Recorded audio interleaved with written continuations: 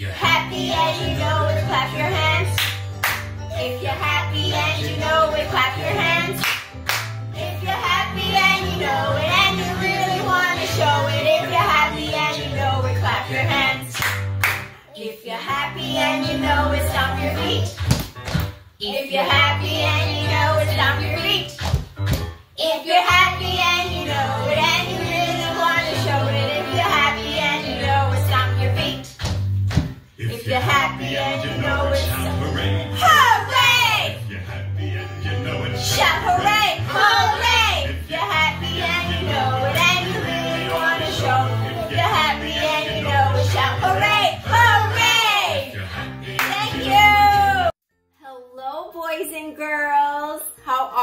today? My name is Sister Susan, and today we're to do a fun lesson um, called Noah. What's your favorite animal? My favorite animal is the lion. Can you roar like the lion? Roar! Now, your turn. Can you roar?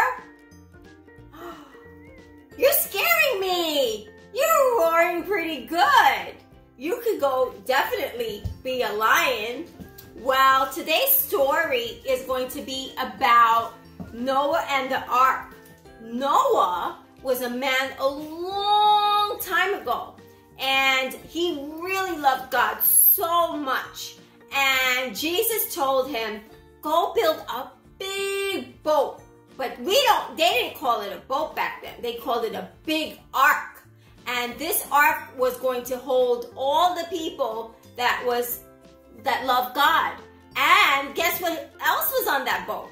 The boat was also had the animals, two animals each.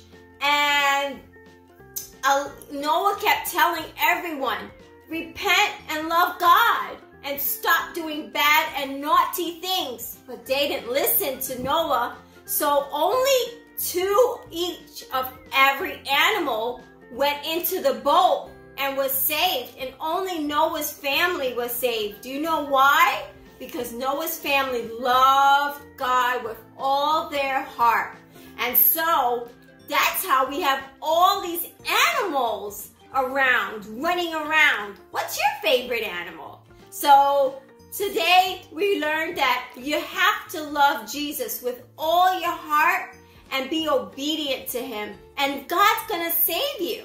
Just like he saved Noah and his family and he put them safe on that ark. And when the rains came down and the floods came up, Noah and his family was safe in that boat, right along with all the animals. There were monkeys on that ark, and there were giraffes, and there were kangaroos jumping around all over the place. And at the end of the 40 days and 40 nights after it rained, Noah said, I wonder if it stopped raining. So he sent out a dove. And the dove brought back an olive branch and said, Oh, it's time to go out and start a new life.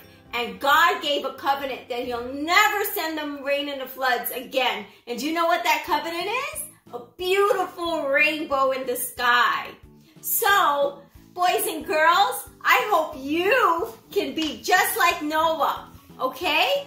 Now we're gonna do a great arts and craft. We're to do a lion, and it's really simple. All you need is a paper plate. Ask mom for a paper plate, and a marker, and a yellow crayon, and an orange crayon. So you have a yellow and orange, a marker, and a paper plate. So what you're gonna do, boys and girls, you're gonna do go right in the middle, and you're going to do an upside down um, triangle. Can you do an upside down triangle? And then you're gonna color that in. And then you're going to do a J. Do you, do you know your letter J? And then you're gonna do a backwards J. Do you see his mouth? Now you're gonna do lion eyes. And there you have it. You have your lion. So now, boys and girls, what we need you to do is color in the middle yellow, and then you color outside orange. And then you have this beautiful lion. Okay, ask your mom. I want to see all of your strong lions. Ask your mom and your dad or whoever or your brother or sister to post your pictures on Facebook so that all of us at Liberty Bible Fellowship Church could see your strong lions. God bless and I love you. Can't wait to see you in church again.